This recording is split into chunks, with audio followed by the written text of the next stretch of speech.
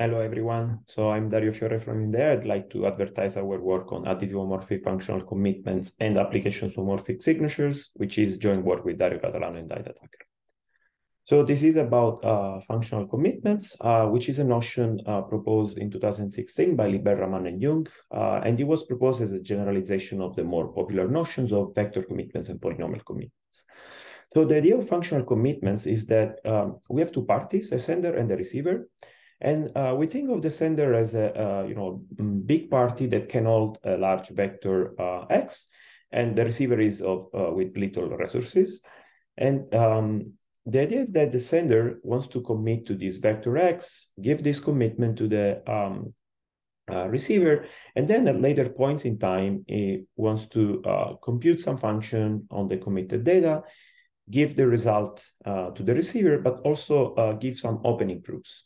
So opening proof uh, should convince the, the receiver that uh, the result Y is actually obtained by uh, uh all, you know, what uh, opens the commitment.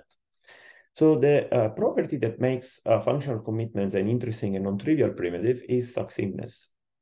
And this informally says that the size of openings and commitments should be short with respect to the input sides, and ideally should be constant. So, uh, in the security property of uh, um, uh, functional commitments is evaluation binding, uh, which informally says you cannot have a malicious sender that, with uh, computation, I mean, computationally speaking, can open a commitment to two different outputs for the same function.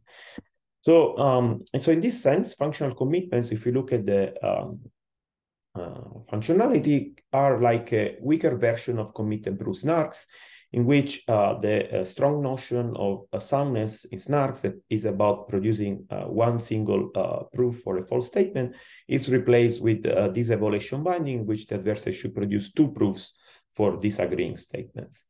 Now, um, given this observation, it is an interesting question that of whether like we can replace snark with functional commitments in some applications with the benefit of uh, uh, having a notion that is falsifiable and potentially realizable from falsifiable assumptions.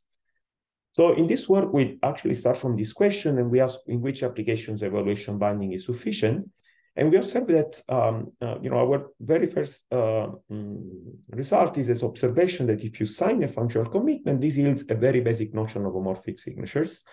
Well, we push this idea uh, even further and observe that if the functional commitment is additive homomorphic, then we yield uh, multi-input homomorphic signatures by pairing it with the linearly homomorphic signature. And interestingly, like uh, this gives a new paradigm for building these homomorphic signatures because uh, uh, the homomorphic signature would support the same class of functions supported by the functional commitment. And also we, um, you know, if a commitment is additive homomorphic, it's also updatable and this yields uh, other applications. So the next question is whether there exists or can we construct additive homomorphic functional commitments.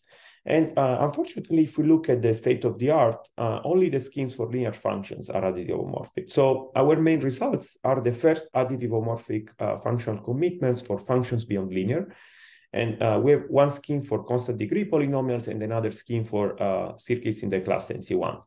And uh, these schemes have also implications to new homomorphic signatures uh, based on pairings. And I will not tell you more than uh, this in this talk. Uh, I really invite you to come and listen to our talks at Asia